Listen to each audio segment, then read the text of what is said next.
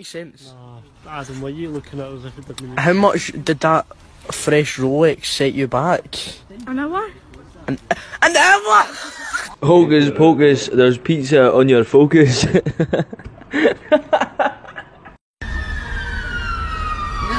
sticks leave it touching the ground! Here, bud. That's not a bank machine. It's not a bank machine, it's a fence. What are you doing in there? What about your mum? Take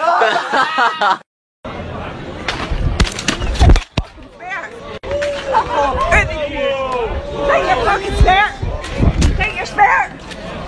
I all Oh, hey, hey, hey! Enough! I'm not even kidding, but I'm just fucking sliding down fucking hill on my ass.